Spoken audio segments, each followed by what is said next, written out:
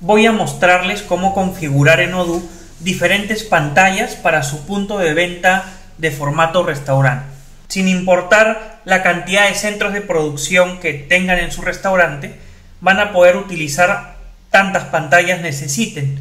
Por ejemplo, en la cocina, en el bar, en el bar de ensaladas, donde produzcan y necesiten una pantalla, ustedes van a poder configurar en Odoo para que los productos que se preparan en ese centro de producción aparezcan en la comanda virtual en una pantalla en, el, en donde tenga que aparecer. Para eso primero debemos recordar lo siguiente, vayamos a Odoo.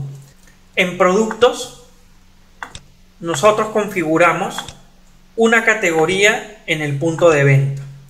Por ejemplo, en este platillo le he puesto la categoría brasas.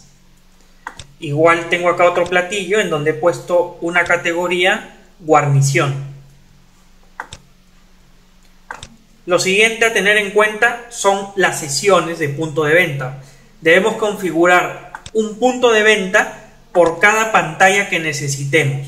En este caso tengo mi punto de venta principal, pero además tengo un punto de venta para la pantalla que va a aparecer en la cocina. Si necesito otra pantalla para el bar, tendría que crear otro punto de venta para que no se confundan las sesiones. Por último, tenemos que configurar los usuarios. Nos vamos a usuarios. Primero vamos a configurar al usuario que va a ser el cajero o el administrador de la sesión. Nos vamos al punto de venta, configuración de punto de venta, y aquí en las configuraciones para el usuario de la pantalla, decimos si va a ser manager o si va a ser de cocina o de producción. Escogemos cuáles son las categorías, en este caso voy a ponerle manager, y luego cuáles son las categorías que este manager va a poder visualizar. Y además escogemos aquí quién va a ser el usuario que va a aperturar una pantalla en esta sesión. Podemos tener más de un usuario. ¿Por qué necesitaríamos más de un usuario? Si hay varias pantallas, necesitamos un usuario para que inicie sesión en cada una de las pantallas. En este caso, como solo tengo eh, una pantalla para cocina, he creado un usuario para que aperture esa pantalla. Puede ser el cocinero, el administrador de la cocina, guardo. Pero ahora tengo que irme a la configuración de este usuario, Screen Kitchen lo busco acá, lo vemos, aquí está. Nos vamos también a la sección de configuración de punto de venta. Y aquí escogemos cuáles son las categorías de productos que va a visualizar este usuario. Aquí escogemos cook de cocinero y luego escogemos con qué punto de venta va a aperturar su pantalla. Es lo primero que vimos que tenemos que tener un punto de venta para cada pantalla. Listo. No podemos usar el mismo punto de venta que se usa para la caja principal. No, porque el cajero es el que apertura ese punto de venta. Por eso debemos utilizar el punto de venta creado de manera exclusiva para esta pantalla. Si tuviera acá otro usuario que sea, por ejemplo, de bar, debía haberle creado un punto de venta de bar y acá le diré que me muestre únicamente aquellos, eh, aquellas categorías de productos relacionadas a bar, por ejemplo, eh, cócteles, eh, tragos. Eso es todo. Ahora veamos la funcionalidad. Me voy al punto de venta, estoy con el usuario administrador, que para, para este caso es el cajero, el cajero apertura en la sesión principal, en el punto de venta principal. Iniciamos aquí la sesión. Vemos ahí todas las mesas. Pero a su vez, ¿quién más tiene que iniciar sesión? Si estamos iniciando la jornada, tienen que aperturar la pantalla en la cocina, en este caso. Entonces, vamos al usuario de cocina. Inicio sesión con el usuario de cocina inmediatamente por default ya me carga la pantalla de comanderas. No, me no permite que este usuario pueda acceder a otras cosas. Directo a su pantalla y ya podemos empezar a trabajar. De entrada está vacío, todas las categorías no, no tienen ningún pedido, entonces vamos a empezar a vender. Llega un cliente, mesa 2, me pide pollo a la brasa, aparte una porción de papas fritas, por ahí me, me pide eh, una nota que sin sal, mando la anotación. Esto que he registrado, de momento que estoy tomando el pedido, todavía no lo he mandado a la cocina. Me voy a mi pantalla de cocina y como pueden ver no, no tengo todavía nada. ¿Por qué? Porque el mozo sigue haciendo o tomando anotación del pedido. Todavía no lo ha enviado a cocina. También quiero mostrarles para que entiendan el flujo completo. Vamos a ver aquí cómo empieza a verse en el back-end todas las operaciones que hacemos.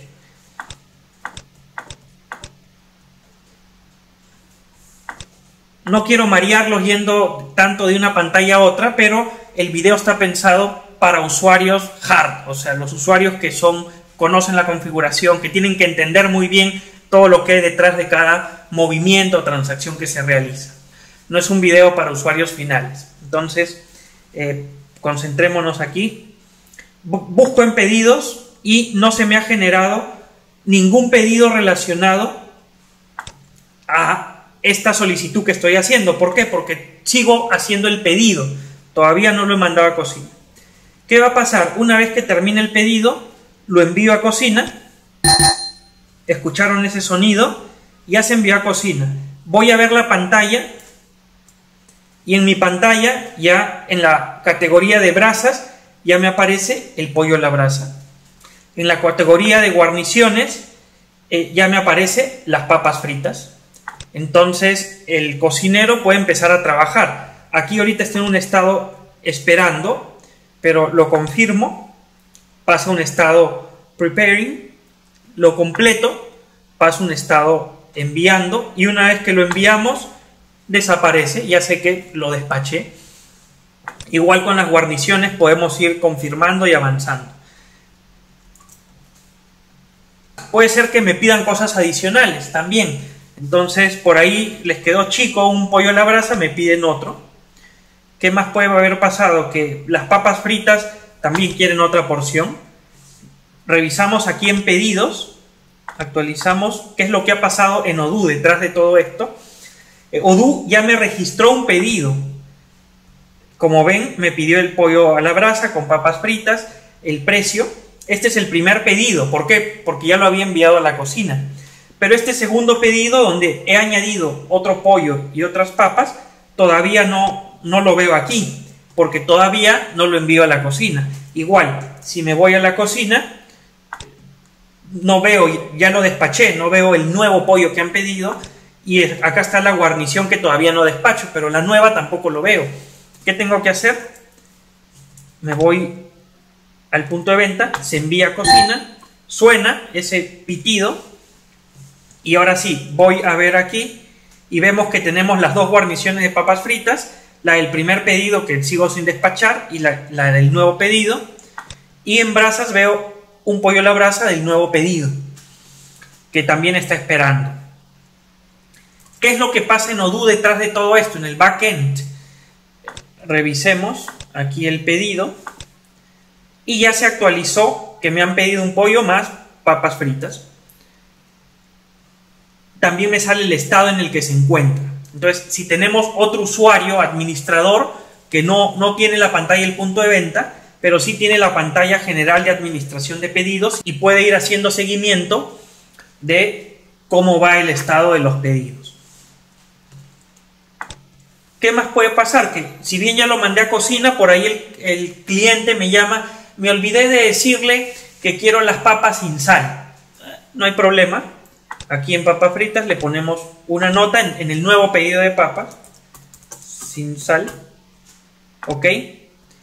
Y hasta aquí no ha pasado nada. Si me voy aquí a guarniciones, en no tengo una nota. El primero tiene una nota, pero el segundo, el segundo no.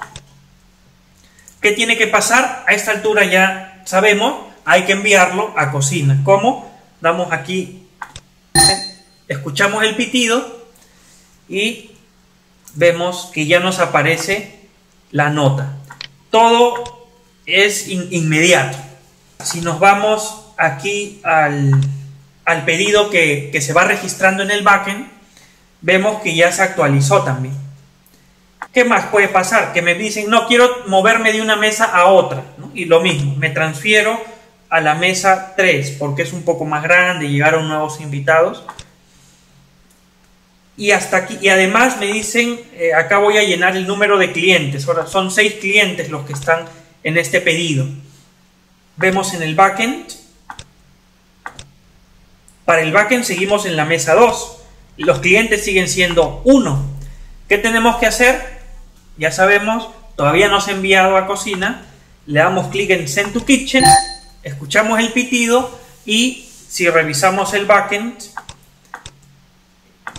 ya se actualizó toda la información de este pedido, estamos en la mesa 3, en, ya tiene 6 clientes, y si nos vamos también a la pantalla de cocina, lo mismo, inmediato, vemos que este pedido tiene que salir a la mesa 3.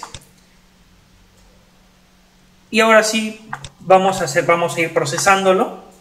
Lo confirmo, lo empiezo a preparar, lo completo. Ya el, mozo sabe que está completo, lo recoge y marca que ya lo despachó. Igual el cocinero dice, confirma que lo está recibiendo, lo va a empezar a trabajar, lo completa y lo deja ahí para que se lo lleve el mozo y el mozo una vez que lo recibe le da enviar, ¿no? El mozo, el cocinero, ya depende cómo ustedes estructuren, dónde ubiquen la pantalla, etcétera, un montón de, variables, ¿no? Puede ser el mismo cocinero el que, o, el administrador, qué sé yo. Eh, lo importante es que entiendan el flujo y luego acomodan sus procesos, sus personas, sus controles a este flujo. Listo, veamos la parte final. ¿Qué puede pasar? Que primero tienes que imprimir una precuenta. Entonces aquí en recibo imprimimos la precuenta. Le damos imprimir a la impresora de precuenta correspondiente. Si el dispositivo desde el que imprimo la precuenta tiene configurada una impresora por defecto, ya, ya nos va a aparecer aquí, ¿no?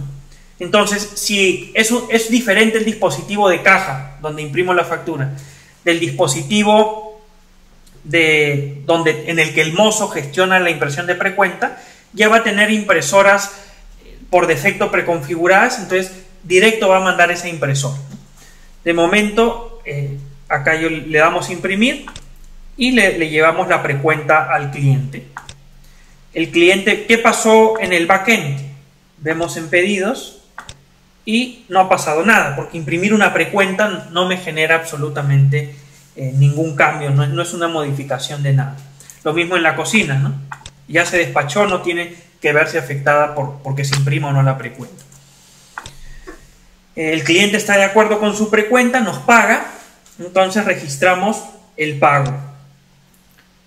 Escogemos el importe, validamos Ahora sí nos sale el documento, la serie, el correlativo, todos los datos de un comprobante electrónico.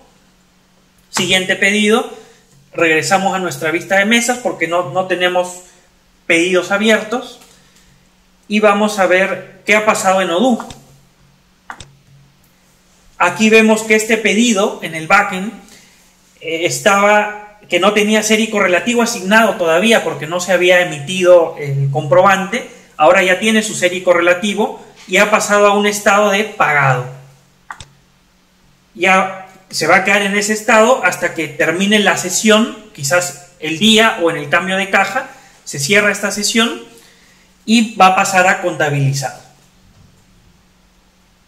Eso es.